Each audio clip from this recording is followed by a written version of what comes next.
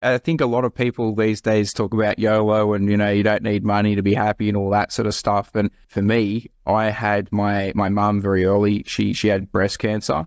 Um, and we almost lost everything over that, right? And it was the thing that saved us was my dad had uh, a property to sell to come up with the money to be able to fund because the funding for the chemotherapy and the radiation and the surgeries and all the time off. And I think when you go through something traumatic, you never forget it. And that became my why. It was like, money is so important, right? People don't think about money being important. Well, you haven't had a loved one where money solves a problem, right? And sometimes, and it's and it's the thing is, it's not about the money, it's the problem that it solves. Welcome to Get Invested on the Property Hub podcast channel, the leading weekly show to help you unlock your full self, health, and wealth potential. I'm your host, Bushy Martin, and each week I go deep with the best investors, experts, leaders, and founders to find out what it takes to break free from the grind, discover freedom, and live by design. Subscribe now and join me and get invested in the life you really want. Let's get started. Hi, freedom fighters. Will you ever be rich? And what does being rich even mean? And what's investing really about? Is it just about money and acquiring more stuff? Or is there more to it?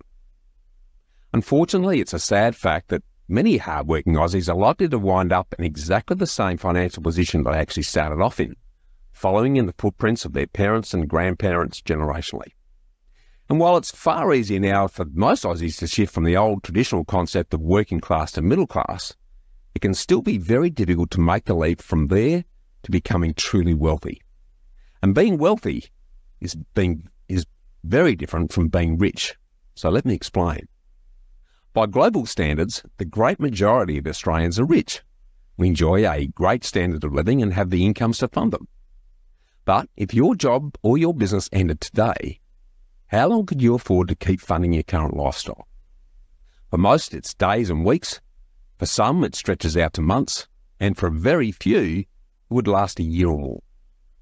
The main reason for this is that most Aussies spend their lives trading their time for money, either as an employee or running their own hand to mouth small business, which leaves precious few hours in the day, let alone brain power, to learn about investing in the future and associated strategies or actually taking educated and insightful actions towards achieving real wealth.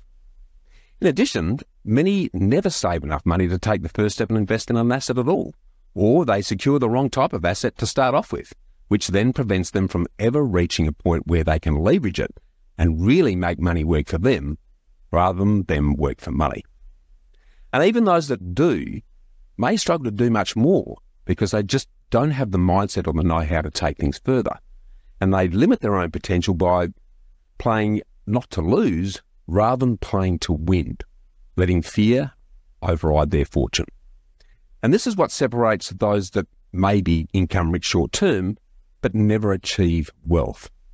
Because true wealth is about time, the freedom of time and choice, about being in a position where you have the freedom of time to do what you want, when you want, where you want, who you want, because your lifestyle income needs are being met without requiring much of your time to generate it.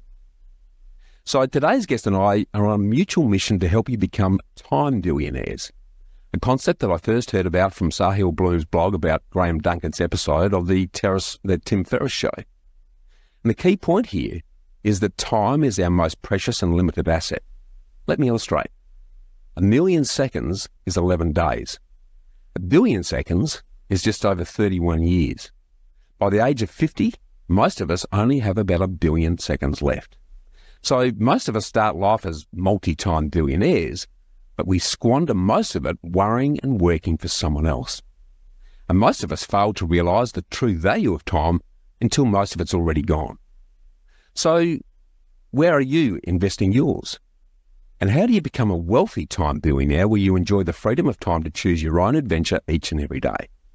In simple terms, it's just about embracing time as your biggest friend instead of treating it as your biggest enemy.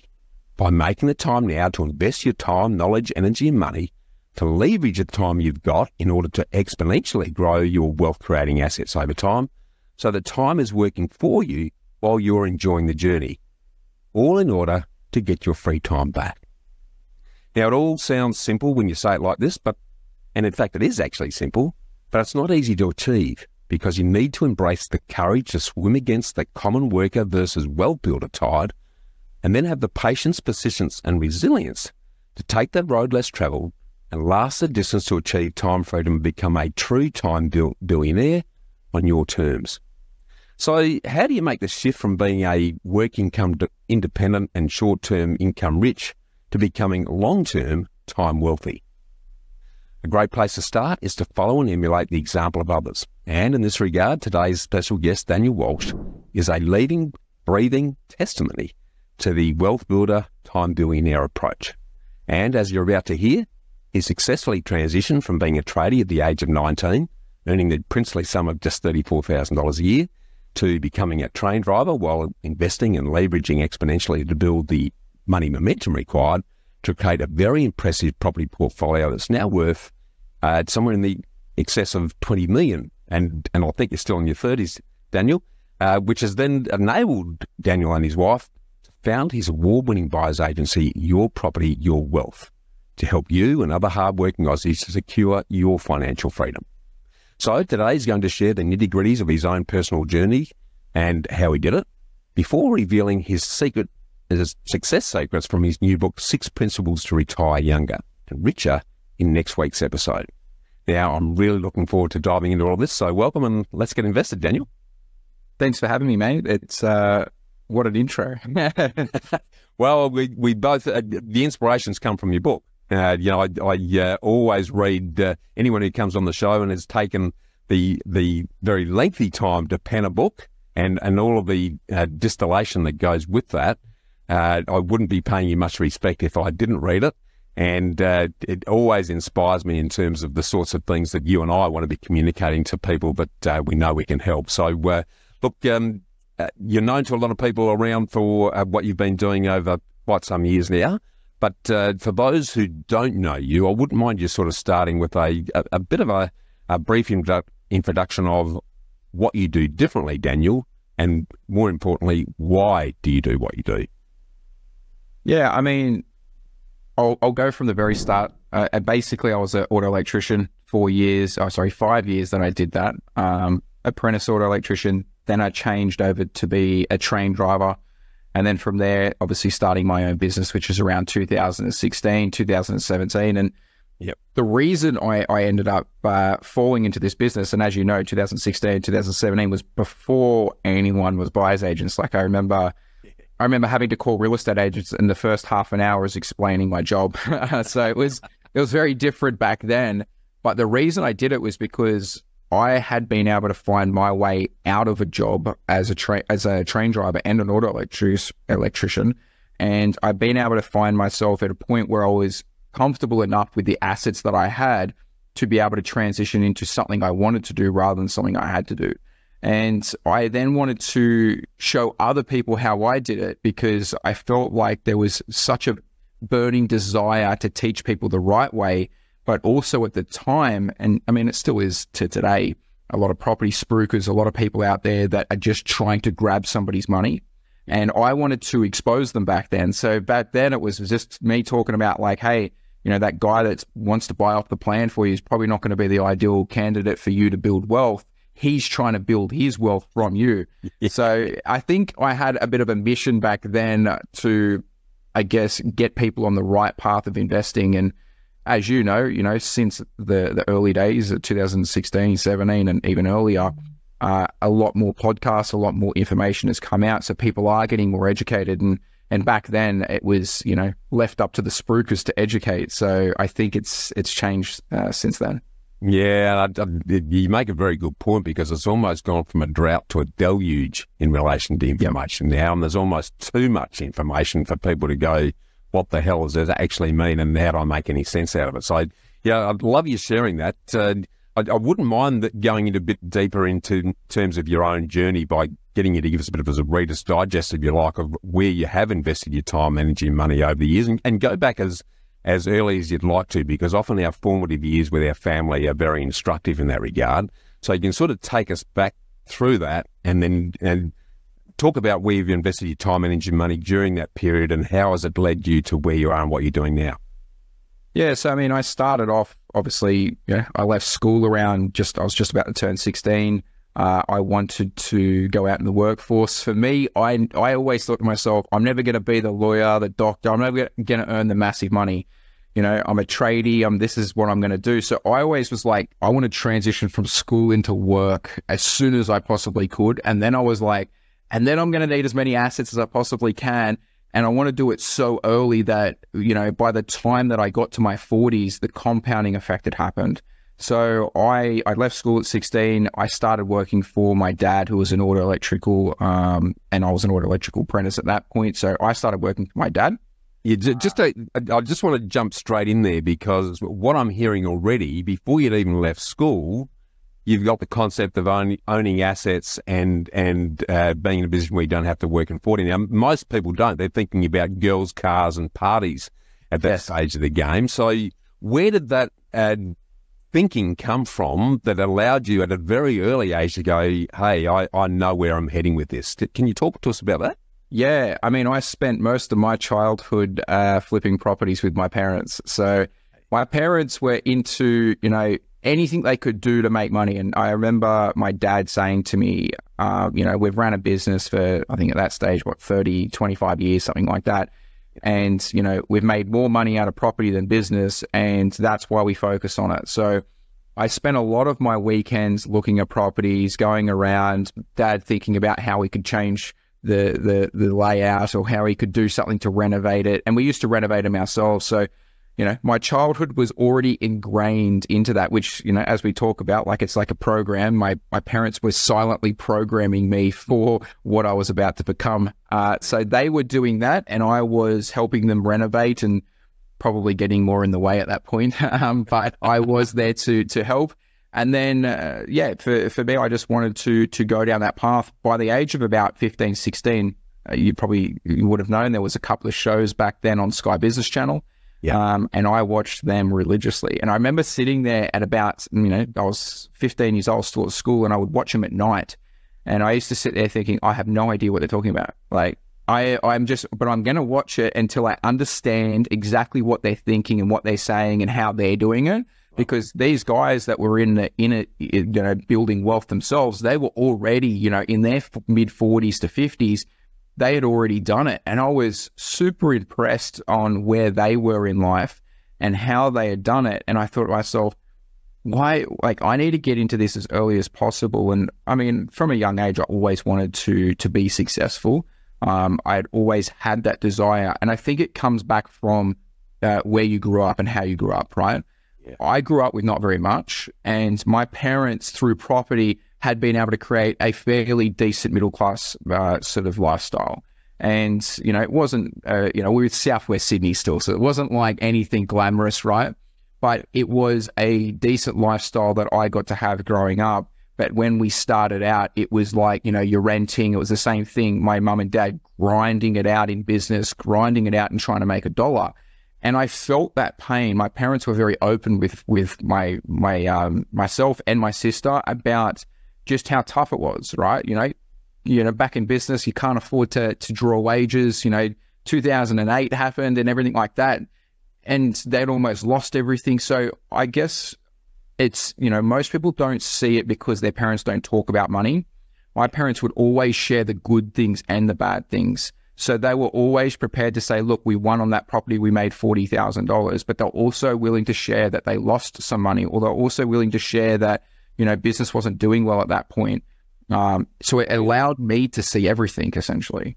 That's brilliant. I, I mean, they were way ahead of the the times uh, in doing that, or, or, or very rare in yeah. that context, because uh, you know I, I, picked up by osmosis really from my parents because they, they were active. The dad was an active investor as well, and I just sort of he was my role model, so I always followed him.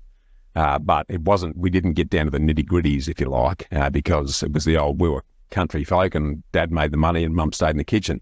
Yeah. That's, that's pretty much how it rolled. Uh, so I, I, love that, and, I, and I, I, love your uh, uh, sharing the, you know, watching the the Sky uh, news shows because what you were effectively doing was learning a new language. You know, I often say that if you're going to be good at everything, anything, you need to learn the language and understand the, the concepts Uh, you don't expect to be brilliant overnight and just jump in and, and be a, uh, an instant success. Learn the language, take the time, in, involve and invest in your knowledge as well as whatever you're investing in, and you, are going to be better off with that. So, I yeah, love love you, you sharing that. If, if we look look back on then, uh, then I, I picked up a bit of this uh, in the book, uh, Daniel. Um, can you talk to us about a, a challenging event in your life you think has brought about your greatest learnings and best changes as a, as a consequence of your journey so far? Yeah, I mean, I, I, think a lot of people these days talk about YOLO and, you know, you don't need money to be happy and all that sort of stuff. And, and I think it comes from the events that you've had to be able to draw on the experience of, uh, you know, for me, I had my, my mum very early. She, she had breast cancer. Um, and we almost lost everything over that, right? And it was the thing that saved us was my dad had uh, a property to sell to come up with the money to be able to fund because the funding for the chemotherapy and the radiation and the surgeries and all the time off, uh, you're in business, no one's paying you, uh, right? So my mum worked in the business with my dad. Yeah. Um, so we had to, we went through a few years of survival. It was like, it wasn't about making money at that point. It was about how much money do we have to survive. And and that hit home with me because I was starting my career at that point. I was working with my dad and I was an apprentice. And I remember my dad just like walking away from the business and I'm just I'm second year in and I'm thinking, what do I do? You know, like I I don't know what I'm doing. And I remember my dad saying to me like, you know, uh, you, you, we want we want to make sure your mum survives this. I'm willing to shut the business down and walk away yeah. But, you know, it's up to you if you want to make it work. You can come in still and, and open the business up. I'll still try to help you as much as I can. Yeah. But I'm not I'm not in it anymore. This is about survival now. So I remember opening up the business and starting and It was the most challenging time, both sides, right? Emotionally, and I'm also freaking out that I'm opening up the doors to to bring business in to try and survive. And I'm thinking the way I'm helping my parents at that point is I'm trying to bring some sort of revenue in. I'm trying to bring something in to ease a financial burden because they can't work anymore. And not only can they not work, they're now pouring out money for all of this stuff. And I think when you go through something traumatic, you never forget it. And that became my why. It was like, money is so important, right? People don't think about money being important. Well, you haven't had a loved one where money solves a problem, right? And sometimes, and it's, and it's the thing is, it's not about the money, it's the problem that it solved at that point for me.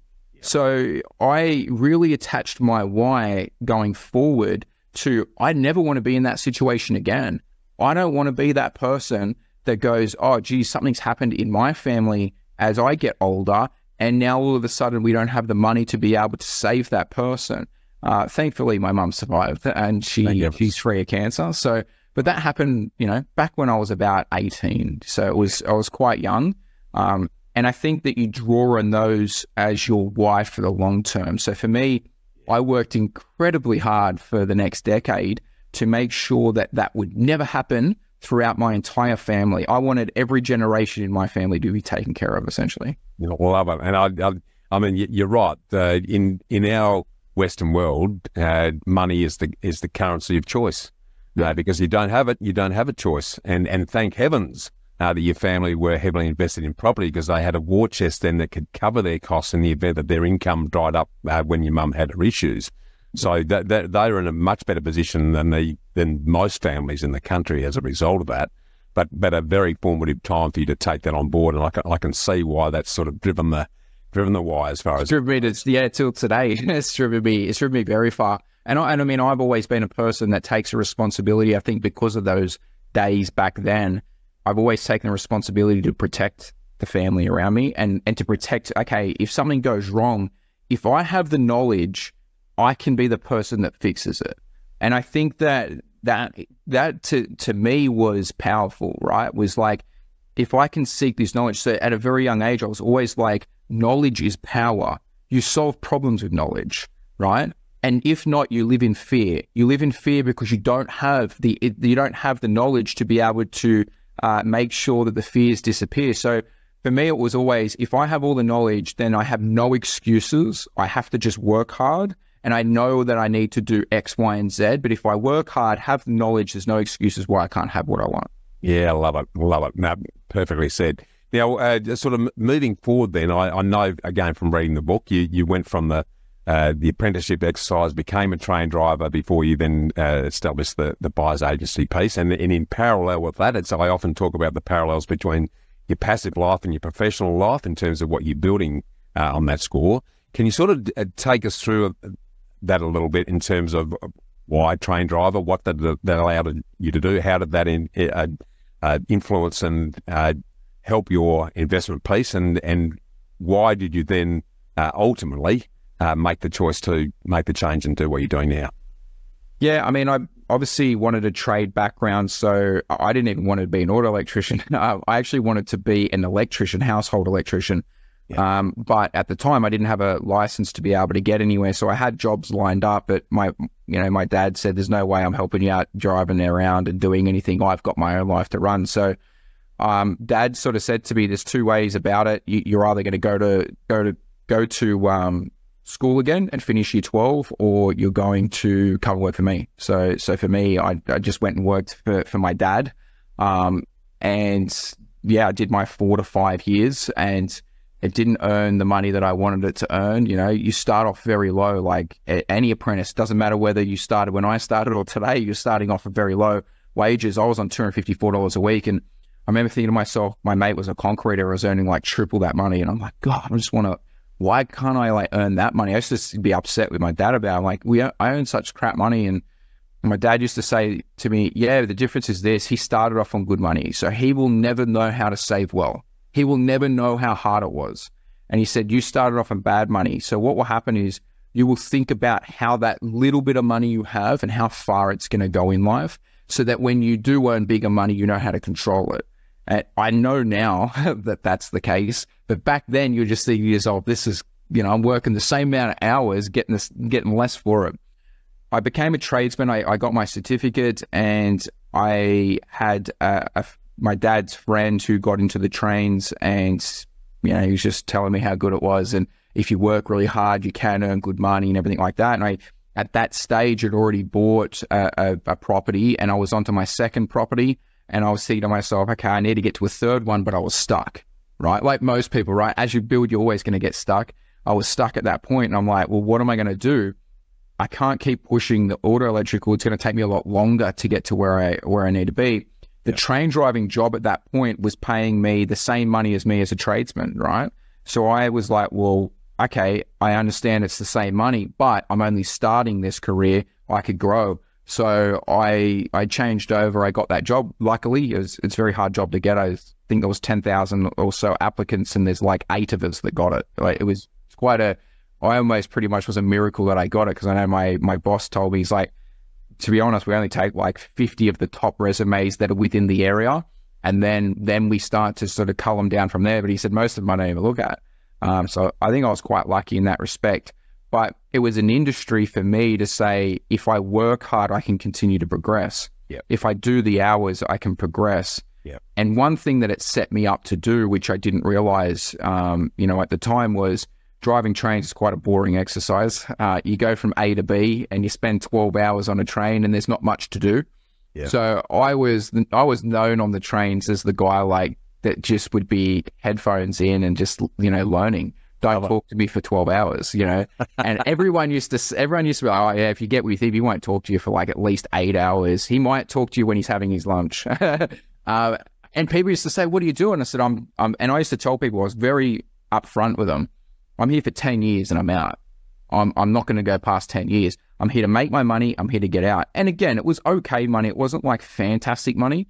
Like I think the, the peak of my career, I was on 119,000 and that's me working every single night. Uh, that was me doing, you know, I was, we used to do shifts and it was 12 hours on, seven hours off, 12 hours on. I used to do that back to back three times in a row.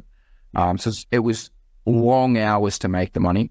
Yeah. Um, but because I had the free time while I was on there, I used to just put it to work in education.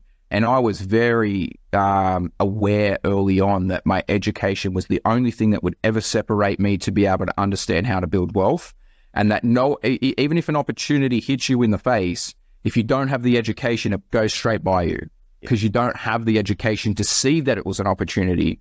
And um, so I was always like, the, the more I learn, the more I know, the more I won't miss an opportunity going forward. That's sort of love it. I love it. well, one thing I'm picking up really clearly is that there's a very strong uh, focus of attention with you. You you got very clear goals uh, and and very focused, and then you don't allow anything uh, to get in the way of that. Is that something that's just inherent in you, or is that something that has been nurtured through the family? Talk to us because it, it's something I think all good investors. Uh, it's a it's a trait they all have. Uh, is that something natural or something that you've you've honed uh, with skill over time? Uh, it's it's funny because it's in my family that everyone says Daniel gets obsessed and that's it. Uh, once I get obsessed with something, I will spend my entire day, night, whatever it is, to be the best at it. Um, you know, I've done it in sports. I've done it in everything that I've ever done. I, I was growing up was, uh, you know, some people would say more ADHD, never stop. I wouldn't sit down and watch TV. I was always doing something and I felt guilty if I wasn't doing something. So for me, it was very controlled ADHD into something. If I had something that I knew I wanted, I could really hone it. If I didn't have that, I'm a mess. I'm all over the place. I've got 30 things running, right? So it was, I think the, the biggest thing was being able to control the energy and saying, stop looking at 10 things, start looking at one. And I think the biggest thing is with most people is they're trying to get rich quick. It's crypto, it's stocks, it's dividends, it's uh, flipping real estate, it's long term in real estate, it's commercial, it's residential. There's so much noise in the the marketplace now, and everything's directed to quick.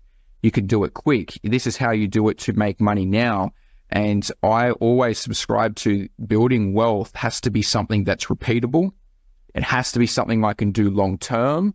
It has to be something I understand. And I want to make sure that when I do something that I identify as that person, because I wanted to become wealthy, I have to embody the identity of a wealthy person from a background of a middle class person. Very difficult to do, right? Um, and I used to envy the, the the rich. You know, I used to envy not rich, wealthy. I used to envy the wealthy, right? And I would see them. We used to live southwest Sydney, and we would come once a year over to like you know your northern beaches, eastern suburbs, that type of thing. We'd put our little tinny in and we'd go looking across and go fishing and we'd see the waterfront properties. And I used to envy those people, thinking like, what do they do? How do they do it? And I used to envy the children of them. I used to think that they're not even if their their parents gave them anything, but the knowledge that they had, the confidence that they had that they could be successful was crazy, right? That opportunity they had. And I was that person where I was like, I don't have the opportunity. I have no one surrounding me with this, with money. You know, the best it got was, you know, you got a brand new, you know, SS Commodore. That was like, that was like, geez, that's the rich guy over here. Um, so I was always envious of that. Yeah. And that was probably why I got so obsessed with how do I get out of where I am? How do I get my family out of where I am? And how do we get to the location we want to live? How do we get to our dream life? And um, yeah, I, I, I, spent 15 years doing it. Love it. I, I, I love that focus uh, and, and, and the drive that's necessary to do it because uh, despite what Insta might try and uh, communicate, uh, success comes with, with a lot of dedication and hard work. There's, there's no question about it. There's no getting around that. And, yeah. Not to be sustainable anyway. And, and that again, that, that long term approach that you spoke about, that's that's also a rarity. You know, it's something that I also ascribe to, and I often often say that good uh, investors, whether it be property or whatever, are actually have addicted personalities because yeah. uh, they want to know the inside and outs. But rather than turn to alcohol and drugs, we turn to property and other things to to churn our uh, activity into, and then then hone that skill and knowledge to actually benefit from it. But that, that long term approach, again, is that something you infused from family or is that something you picked up from your education, your learnings? Because uh, not, not many people uh, see the merits in that, that long term sustainable approach. Yeah, I think I picked that up from uh, a couple of mentors that I would say were mentors at the time that were more. Uh, they didn't know me. I knew them very well, but they were on Sky Business Channel. And I remember you know, them talking about it. You know, success is not going to come in a minute. It's going to take a decade. It's going to take two decades. It's the saying, you know, overnight success took 20 years. I think um, I understood because I listened to older people. I was a young person listening to somebody that was in their mid 40s to mid 50s, right? And when you do that, you get a lot of wisdom early and you start to realize that nothing's going to happen quickly. And I always subscribed to that. You know, I knew that I wasn't going to be a millionaire in the first two, three years. I knew it was going to be tough. And, you know, I think that everyone that wants to become wealthy, rich is different. Rich is quick. Wealthy is long, right? That's just two different things. If you want to be rich, go get a great income. You can be rich. If you want to be wealthy, you have to transfer that great income into wealth. And that takes many, many years. It doesn't matter how much money you make, it's going to take many, many years. And that's why they talk about, when they talk about wealth, they talk about generational wealth. They don't say generational rich because generational rich is not long lasting. It's a, it's active, yeah. right? And I wanted to say, how, how do I change? How do I change active into passive? Well, that's going to take so long. And I understood very early, I'm only going to live off five or 6% of my entire net worth.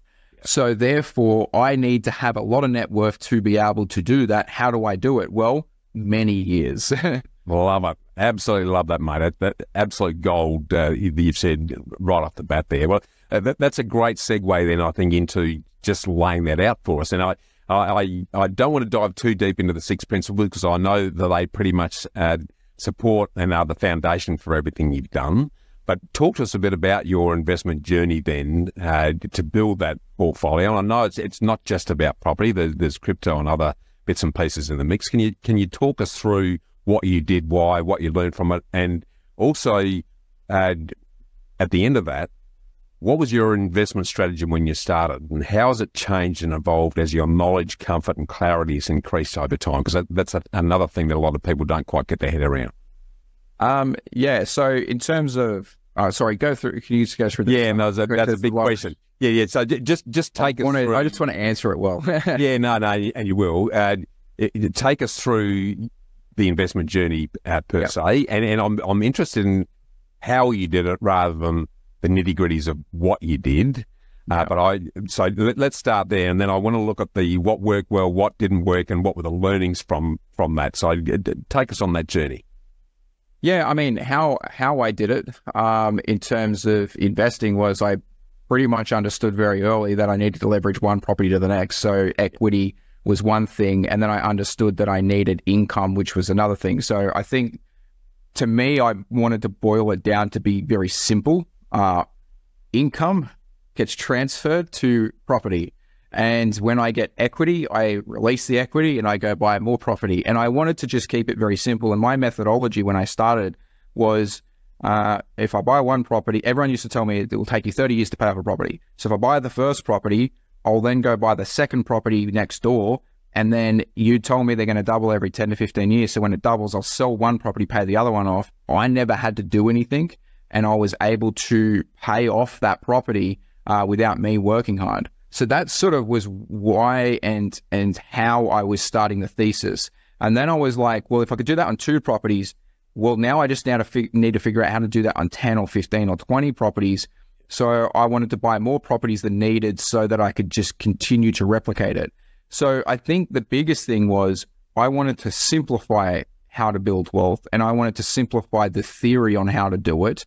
And then I would put it into action and be very practical about it and I just kept running with the same theory. Um, and it, what it allowed me to do is also take the risk out of it because I would say to myself, well, if I buy 10 properties and five of them double and the other five just didn't grow, I could sell five, pay off the other five. And essentially, I, I had a 50% strike rate on being right. And I still executed on the exact same strategy that I wanted to do.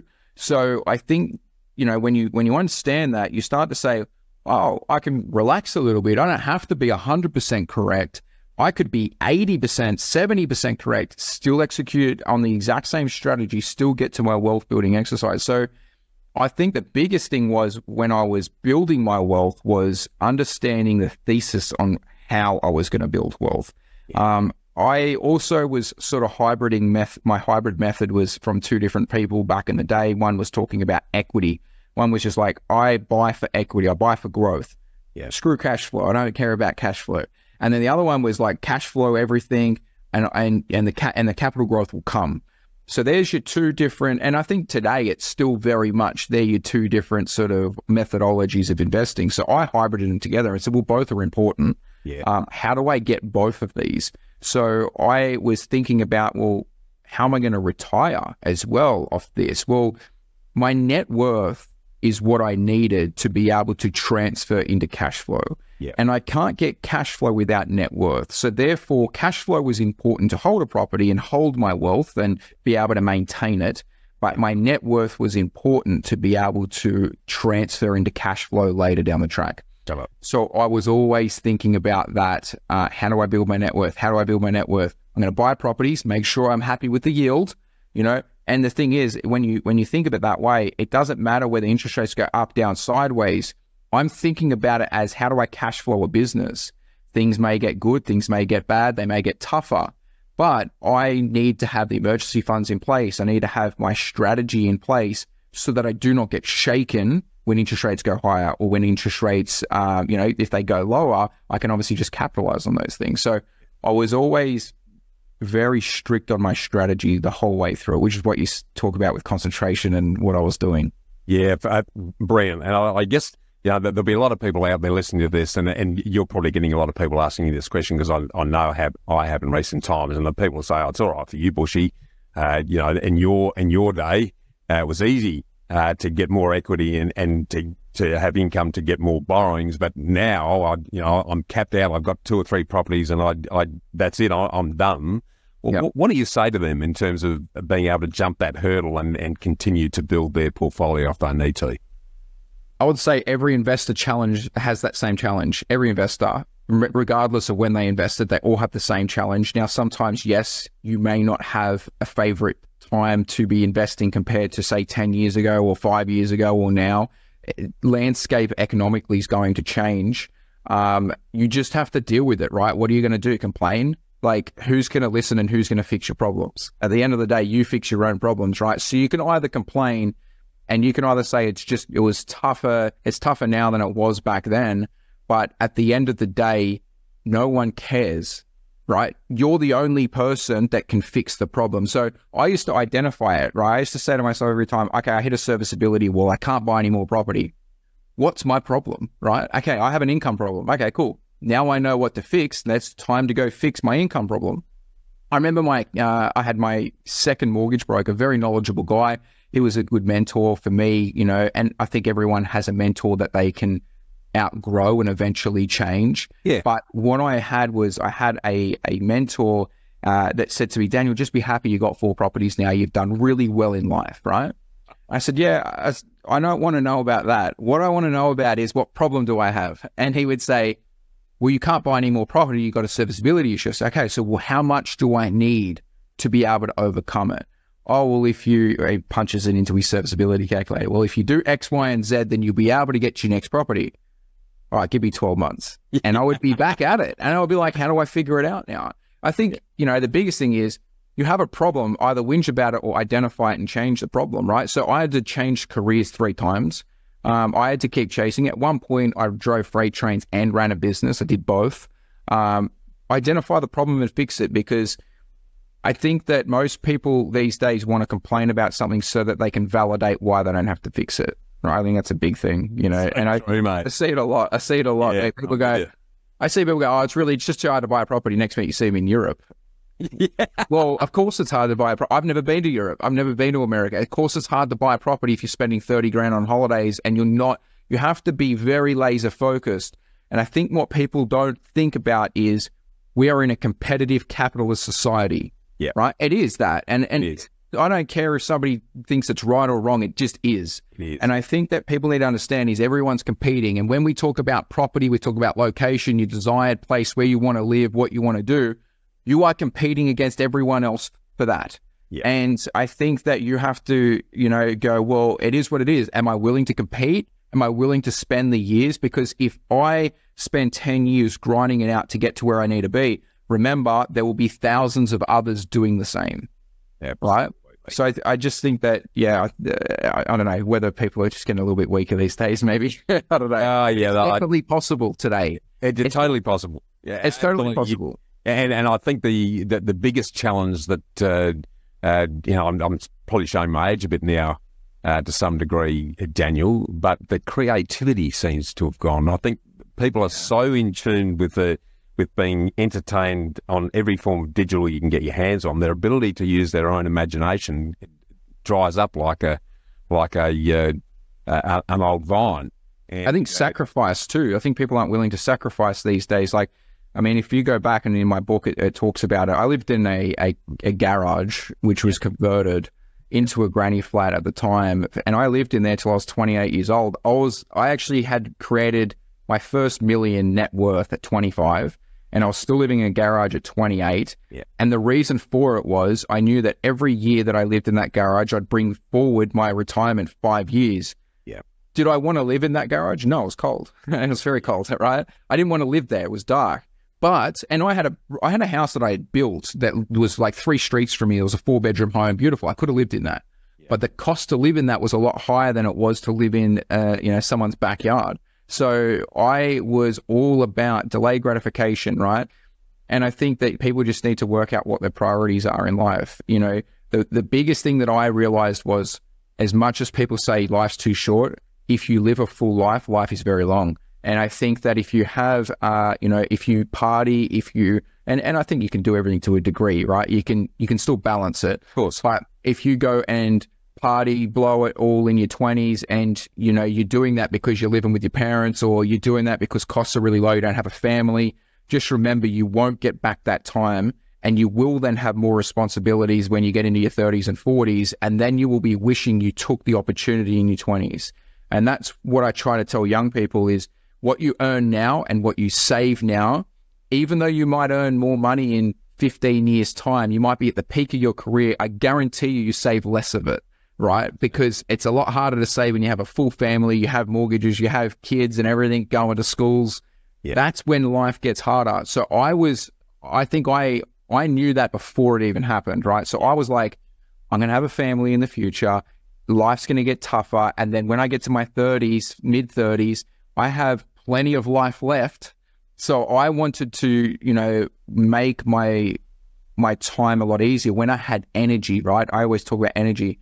Yeah. Your 20s, you have the most energy. 30s, you have energy. 40s, you kind of start to get in the back end. 50s, you have no energy. You want to retire, right? You start to lack the energy levels. And I understood that. I'm enthusiastic. I have the will to do it. I have the most energy now. Why miss this opportunity? Because one day I won't have the energy and I don't want to be an Uber driver at 55. That's just how I, I saw it. Yeah, and, and just a just a, a, great way to, to think about it, and, and such a sadly a rarity uh, uh, amongst the current generation for all the reasons we've spoken about. Uh, one thing before I, I, I, change lanes a little bit, uh, I know you've, you've obviously invested heavily in property. You've also uh, dipped into the, the crypto game. Uh, talk to us a little bit about the, the differences between the two, because I, you know, there's a, a lot of people who, who like to chase shiny new things, and, and crypto certainly early on uh, for doing that. It's it's getting close to a critical mass now where it's been being taken seriously across yeah. the board. But uh, if you looked at those two asset classes, uh, and in the in the context of your overall strategy, uh, where did property fit into that strategy, and where did crypto fit into that strategy, and what were the differences in the two in terms of the way you manage that investment? Yeah, so property for me is safety. Property for me is the hedge against inflation. It was uh, cash flow. It was how I would retire. Uh, crypto was the get rich, you know, in the next couple of years, and I could see an opportunity in it. And I delved a lot of uh, my time into informing myself whether it was a good decision to get into or not. But my ultimate mindset of crypto was transfer that money straight out and put it back into property every time because safety, that's safety, right?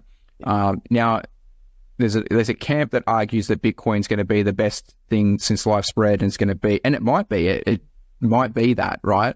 But at the end of the day, I'm not willing to risk what I've built for 15 years for it. So I did put a, a quite a lot of money into it. Um, I think it was roughly four or five hundred grand that I that I did put into it. Yeah. At one stage, I took it up to 1.8 million within 11 months. Yeah. Um, and and it, it you know worked out to me for somewhat, but I also have lost money, big money in it as well. And I've won and I've lost. And I, I think that the big thing was the differences was uh, crypto was a year of crypto is like 25 years of investing mentality wise. Yeah. The stress. And I'm talking, and when I, when I talk about that, I'm not talking about investing five grand. I'm talking about my portfolio could adjust $200,000 in an hour. Yeah.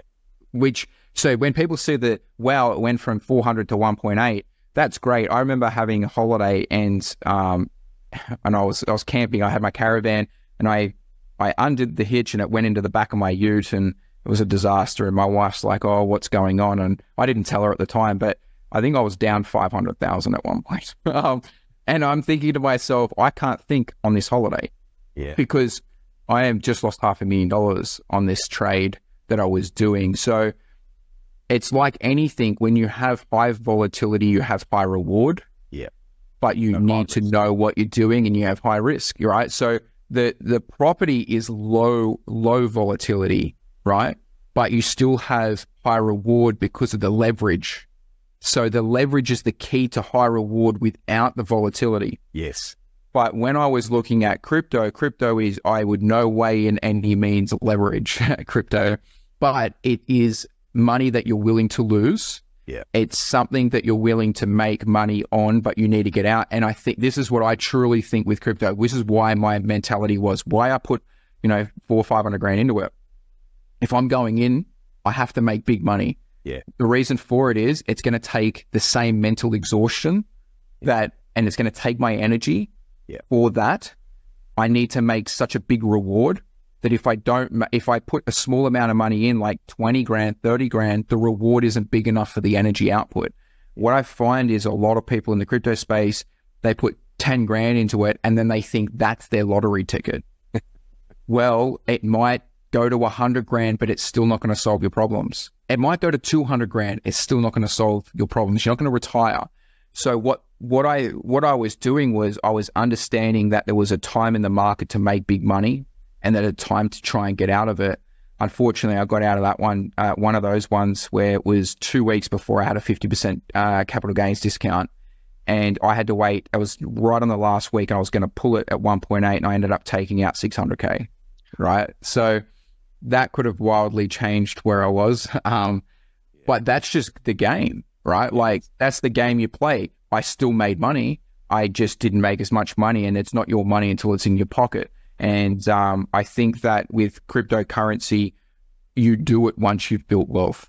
That's how I look at it, right? It's almost your gambling money, isn't it? It's okay, right? We've got the foundation that now can play a bit rather than. Yeah. Uh, Well, you know, it's not say, getting cash flow either, right? Like, exactly. yes, you can get, you know, I know people will say, yes, you can stake it. Um, but there's also a lot of coins that went to zero, and there's a lot of people that put their money in that never got it back out, right? We're still in the early journey where the risk is so high to get your money back out. Yeah. I had Luna coin, 200 grand, went to zero in, in five minutes. Yeah. I couldn't even get it out quicker than I could see it go down, right?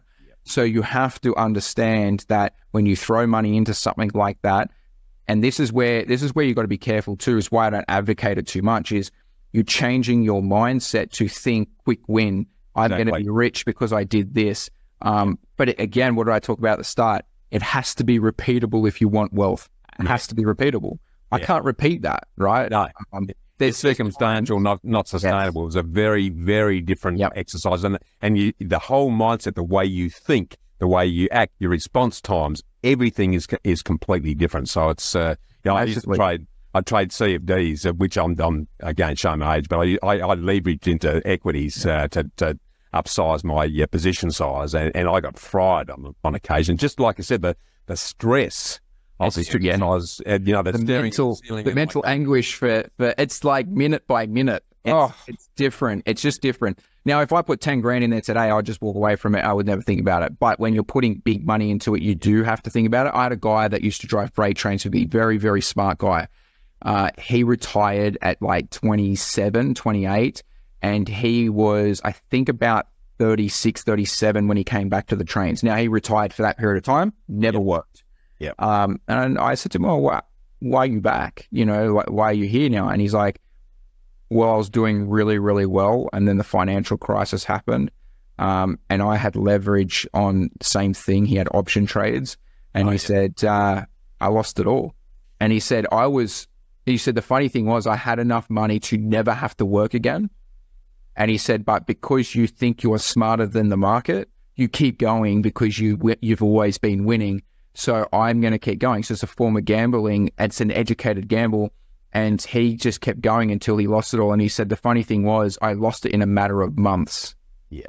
And he said, because I thought I was better and I thought I was clever, like more clever than everyone else in the markets because I had been able to do it so well. And that was something that had always stuck with me that you were never more clever than everyone else, right? So when you go to, when I go to property, it's a foolproof way over time to sustain wealth. Yeah. But when I go into anything else, you are pretending that you're smarter than everyone else and you're just not. Yeah, I, I agree. Uh, there's a very fine line between ignorance and arrogance, uh, and they're, they're, closely linked when it comes to that exercise. Tell me, uh, before I jump into the future briefly, uh, Daniel, uh, what do you still struggle with, if anything? Um, I think I think uh, uh, you know I talk about playing a game. Life is like playing a video game. I always talk about. Yeah. I think as you keep going forward, you will always struggle with your self confidence because you're always trying to get to the next level that you haven't unlocked. Yeah. So you're always so so regardless of what somebody sees of me, they will say, "You have everything. You should be the most confident person in doing everything, right? Uh, building wealth, all of that." But when you are trying to get to the next level, yes, I could look back at all the levels I've achieved and I could say I could do all of them with confidence. But when I'm unlocking a new level, there's still self doubt. It'll always be there because you can't unlock a new level that you've never been, you've never treaded on, and then go, I've got so much confidence because I've passed the previous 12 levels. So I think that was one thing that I still, I don't think struggle with, I recognize. And I think that the same thing with um, anxiety. I've struggled with anxiety and it's actually gotten worse in 15 years for me. I never even had it when I was younger. I never had it when I started investing and I've had more of it. But I'm also have to understand I'm doing 20 times more than I used to. So the anxiety comes from understanding that you, you know, for one, you want more for yourself, you want better out of yourself right? So for me, when I have anxiety, I recognize that maybe I'm not doing the actions that my anxiety is filling up with, right? So I might be taking a weekend off and then I might have anxiety. It's because I have tasks to complete. That's why I have anxiety. I just recognize that I have it and where it is. And I think that everyone has it to a degree. Yeah. It's just when it flares up and why. And I think if you want to get, let's, you know, when you when you go to when you go up into you know becoming more and more successful, it's like a pyramid, right? You yep. build a foundation and then you keep building upon it. But the problem is the, the higher you get in that pyramid, the, the steeper it gets and the more to the tip that you will become. Yeah. Right. And what happens is that point is you can fall off the tip so much easier than you could down at the foundation level. Yeah, right.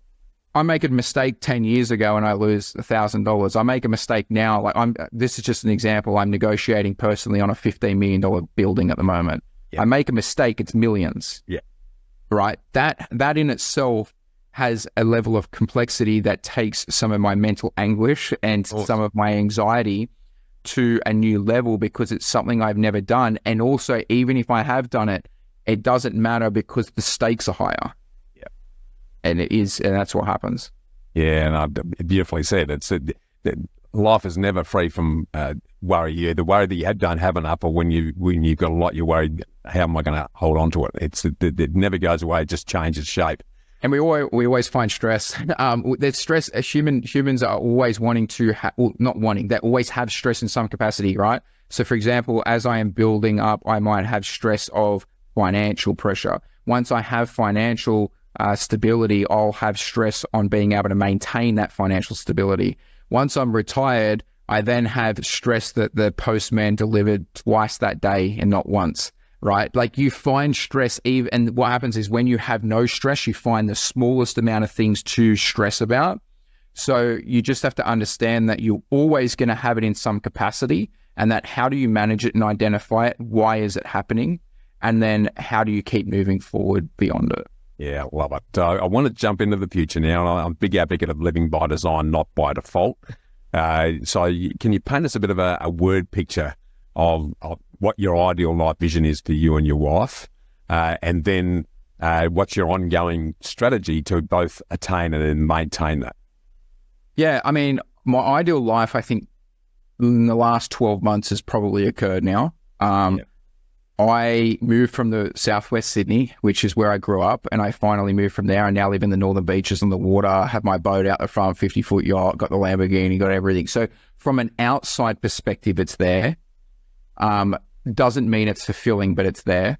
Yeah. I think that the life by design now is I have what I have, it has to be sustainable forever. And the sustainability means that if I was to die tomorrow, does my family sustain the same life? I think that is now my driving force, and and it's it's there, but how far do you want to push? And I think that um, once you get to a certain level, you get to a point of financial freedom, and anything above that, it unlocks more luxuries, probably not more fulfillment, but it does unlock more luxuries. But the incremental happiness is very small, right? Yes. So Yes. I live in a six million dollar house here, right? The house across the road from me is worth twenty million. Yeah. And I've had people say, Well, you're gonna try and get to that next. Not really. No. Why why? I live on the same street. I have the same views. I have the same boat. Why would I why would I want to stress for the twenty now if it comes naturally, I'll obviously take it because it doesn't have the stress and I've got the financial freedom. But I will not trade financial freedom for a twenty million dollar house. Why No. would I do that? I've got financial freedom in a six million dollar house. I don't have it over there. Yeah. So I think what happens is as you build up through your life, you understand eventually what makes you happy, what makes you fulfilled, and what Yeah. true financial freedom looks for you. Um, And let, let's let's dive straight onto that. What what is fulfillment to you? I'd, I'd love your definition. fulfillment is something that is if if you don't get paid for it, would you still do it? I think that's that's fulfillment for me. Yeah. Um, fulfillment for me is doing this, right? I like I like sharing my experiences. I like sharing my knowledge. Um, I do it for free on Instagram, social media. I do it in podcasts. I do that for free, and I think you know it's the same with the book. Uh, two years to write a book. There's no the the, the fulfillment's there. There's no monetary value behind Yeah. it, but it's fulfillment. So I think um, now my fulfillment is in the form of legacy now. So it's in the form of if I disappear tomorrow, is there enough content out there for people to understand and listen to? Yep. So that they can gain an edge for their family and create generational wealth. The fulfillment is for somebody to come up to you and say, Daniel, you changed my life. Like that's fulfillment. Um, and that's not to do with money. And we might not have ever met that person. Um, it. but I think that's fulfillment. Yeah, I, that's, uh, that's it's really interesting. I, we're, we're on parallel journeys, probably a different uh, age time frame because I I uh, had a a early life crisis which which ground zeroed everything, and I had to start again and, and, and got very focused at that point. But my own definition of fulfillment, similar to yours, is giving freely to others without ever expecting anything in return, and hopefully then not even knowing I'm doing it.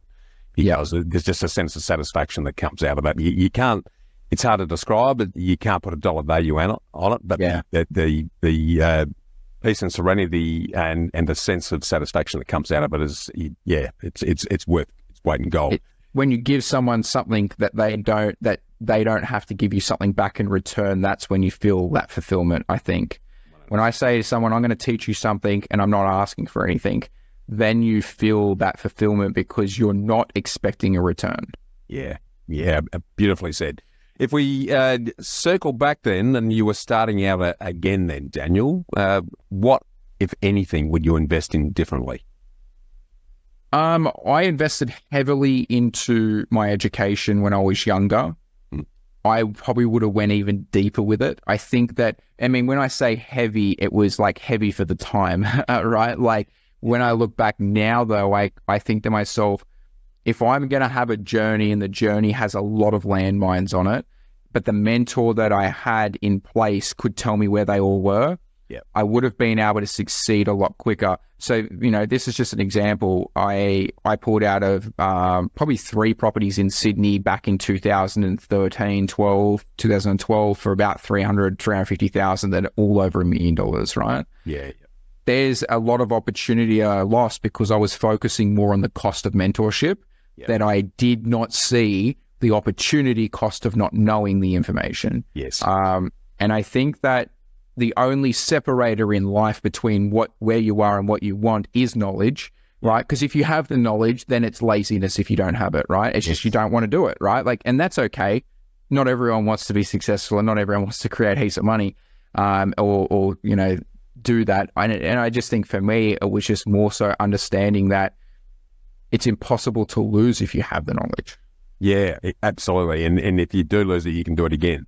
That, that's Yes. what once Yeah. it's in build, it's it's uh it's it's with take it away from me, I'll do it. It's, it's funny because if you look at anyone that makes millions of dollars, creates wealth, and then loses it all, they get it back the second time twice as quick. They do it a third time, it's three times as quick. Now, the person that sees that hasn't done it says, oh, that's risky. Look, he went bankrupt. But look how quick he came back. exactly It's knowledge that did it.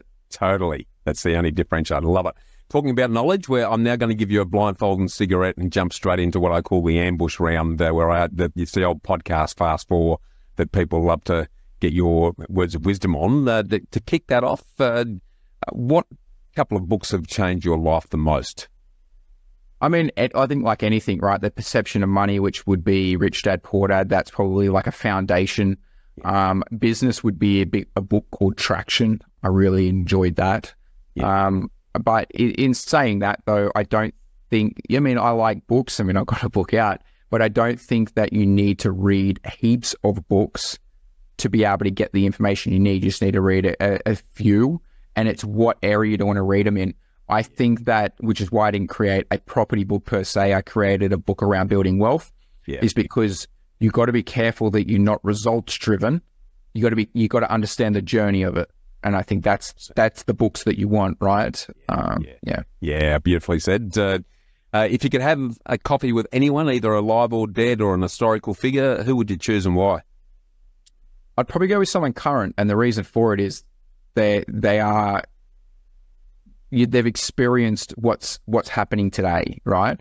And they're adapting, and I think our world is changing so much that you need to be adaptive. I would probably pick someone like Hormozi because he is business orientated, very smart guy, and he is seeking from so many mentors that the knowledge he has is so great because he's been able to regurgitate information from probably a hundred mentors compared to somebody that just has their material. Yeah, I love that. I love that. Uh, what superpower do you wish you had and why? Uh, I, I don't know. I, I've never really thought about it. probably to be immortal. I think to be able to see how things happen, right? Like, uh, why wouldn't you? I think that we all strive to live longer. Yeah. Why wouldn't you want to live forever and see multiple generations of your family loins and be able to uh, continue? Like for me, it'd be like continue to educate and see where life could take you know could take you, your kids, your grandchildren. Yeah, I love that. Uh, last one then, uh, again on books. What would be the title of the book about you if I asked your wife or your parents? I think what I what it is. Six Principles to Retire Younger and Richer. I think that's what it would be, right? Like, um, Love it. yeah, I don't think it would change. yeah, no, that's good. That, that's good to hear. Uh, last question, then, uh, before we close off on uh, part one of our great conversation, what's what's the one question that I, that you wish I'd asked you, and how would you have answered it? Probably more about why do, why does property go up in value? Okay, I think I think understanding because that's that's the difference, right? Understanding why it happens, and I think that then comes back to more economical side of things, like looking at economics, looking at you know, I I very much delve into economics and that sort of side of things. So understanding that because you're in a vehicle of property, but why are you in the vehicle? yes. I think that's a very that's that's something that most people don't ask themselves. They just like property goes up in value, but but why? Why? is it going up in value, right?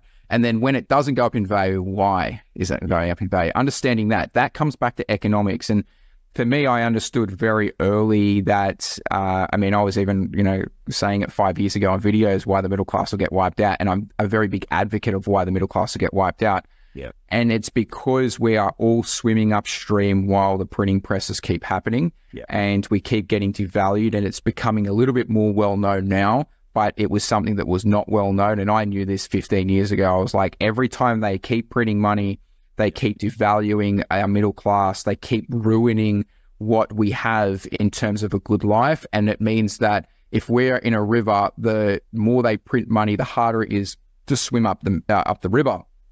And the wealthy person understands, I'm not going to swim up the river. I'm going to get a life raft with a motor behind it. Right. I'm going to get. I'm going to use. And what the motor is, the motor is they're going to use the property and the debt, and they're going to buy those properties with debt because if you want to build wealth, you would. eh, Sorry, if you want to maintain wealth, you will acquire prop. You acquire properties, right? But if you want to build wealth, you use leverage to acquire properties. That's building wealth. That's Yeah. two different things. But what you're doing is you're recognizing that you're shorting the dollar long term and you're longing the property, the asset. Scarcity goes up in value over time because the, the, the currency lost value. And the currency is losing more value than ever before, and people are starting to see it. They couldn't see it before. The silent tax that we had, 2%, 3%, they strive for us to lose money. They strive for it. And I think that uh, that is something that has been a big driving force for me to make, make people wake up. Debt is good. Debt devalues. Debt is what makes you generational wealth. Um, you know, go look at all of these billionaires, right? What do they do? They don't create income taxes for themselves. They they go leverage against their assets to go buy more assets in the form of debt because they don't have to pay taxes. How do you get out of paying taxes, right? If I go, uh, for example, I'm trying to acquire a $15 million building right now. Mm. If I need a uh, $3.7 million loan, uh, sorry, not loan, deposit against that $15 million building, $4 million. So if I have to come up with $4 million, if I want to come up with that in income, I need $8 million. Yeah. Because I need to pay the Yeah. taxes and everything along the way. So I need 8 million to come up with 4 million. If I need to leverage it from property, I just need 4 million Exactly. now I work out how to cash flow it, right? So I think that's that's such a superpower, which is what I talk about phantom equity in the book. That's such a superpower because if the person that is working hard loses like 40 to 50% of everything that they ever earn, and I can acquire, yes, I still lose my money through my income, but it's not my focus. If I trade it over to this side and I'm buying and acquiring assets, now I can leverage tax free money. And it means that I can build 10 times as quick because I'm compounding that every single time Exactly. double whammy exercise. I, I love that. Look, uh, we're going to get into more of that in uh, next week's episode when we dive into the book. So uh, I really want to thank you for taking the time to share the ins and outs of your journey so far, Daniel. And uh, while we're about it, if anyone would like to keep the conversation going and get your questions answered by other like-minded investors and independent property professionals in a very safe, relaxed, and education-only environment, feel free to join us on the Property Hub Collective Facebook community by clicking the link in the show notes. And we look forward to connecting more with you there. Alternatively, if you're needing a more private and confidential personal solution session to help overcome any of your challenges, feel free to uh, catch up with me personally for an hour by hitting the book appointment button on the top of the knowhowproperty.com.au homepage or the link in the show notes. And we now look forward to continuing our deep dive discussion next week, Daniel, uh, where we're going to unpack your great new book, Six Principles to Retire Younger and Richer. So uh, thanks again. Remember to always get invested, and we look forward to chatting with you more then. Thanks, mate. Stay Thanks tuned me. for part two of this interview next episode. Thanks for tuning in to Get Invested on the Property Hub podcast channel, your home for property investment insights and inspiration. And don't leave yet until you've taken the next step towards living by design. By getting my award winning book, Get Invested, absolutely free when you sign up at knowhowproperty.com.au or bushymartin.com.au. And finally, make sure you subscribe to Property Hub to get your weekly dose of Get Invested inspiration, along with every episode of Realty Talk, Australia's leading property show for red hot property investing news and insights, direct from industry leaders and influencers. Remember to always get invested in your knowledge, and I look forward to seeing you next time.